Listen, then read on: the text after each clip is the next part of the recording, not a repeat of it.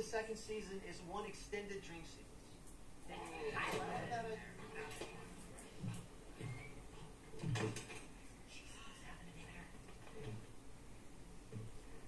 Hey, hey, is everything okay? What the hell, you guys?